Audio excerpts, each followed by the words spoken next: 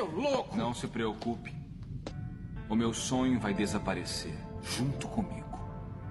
Esse é o caminho que eu escolhi. Mas.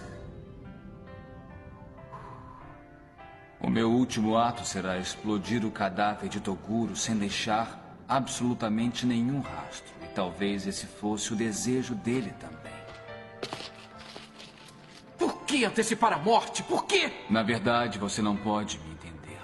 Meu maior sonho era abrir um buraco grande para fazer a ligação entre o mundo espiritual e o mundo dos homens. O mundo seria muito mais divertido se todos os monstros malignos pudessem caminhar livremente entre esses dois mundos. Quero deixar claro que o meu maior sonho vai junto comigo quando eu explodir. E isso é tudo que eu tenho a dizer. Hã? Shizuka?